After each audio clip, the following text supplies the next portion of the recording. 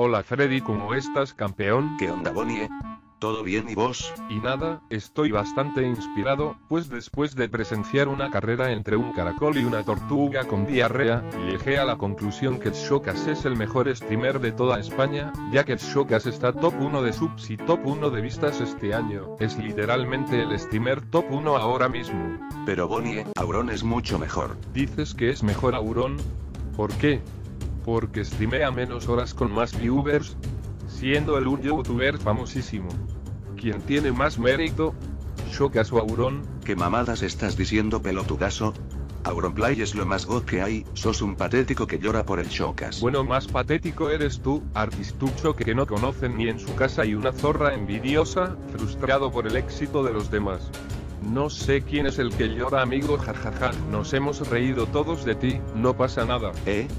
¿Qué carajos te pasa, Bonnie? Espera, te noto algo raro. No me pasa nada. Bonnie, eres el Shokas. Puta madre, está bien, lo admito, soy el Shokas, y que... Tendré que avisar a los demás. ¿Avisar que Freddy? No, chica, tú no. Freddy, ¿qué pasa? ¿Por qué estás tan alterado? No, todos ustedes. Pero Freddy, ¿cómo sabes que tú no eres el Shokas?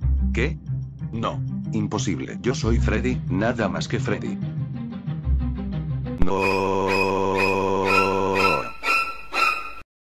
Luego Freddy acepta que es el Xocas, y junto a los demás salen a dominar el mundo convenciéndolos a todos que son el Xocas, y esa es la premisa de la película, la invasión de los Xocas.